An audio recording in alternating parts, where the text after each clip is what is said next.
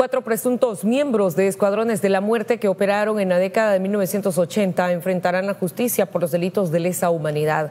El fiscal del caso dijo que este miércoles se presentó la acusación contra José Inés Benavides Martínez, Luis Alonso Benavides Polio, José de la Cruz Orellana y Ángel Aníbal Alvarado Benítez, quienes operaban en el Cantón San Andrés y sus alrededores en el departamento de San Miguel.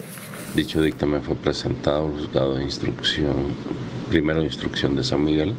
La fundamentación de dicho dictamen está sustentado en elementos de prueba documental, pericial, anticipos de prueba y por supuesto prueba testimonial que permiten acreditar no solo la participación de los imputados en los hechos que se le atribuyen, sino también la existencia misma del delito.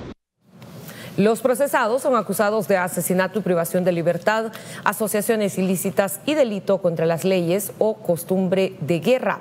Esta es la primera vez en la historia del país que se procesa una estructura de este tipo por hechos cometidos en la década de los 80 bajo la modalidad de delitos de lesa humanidad.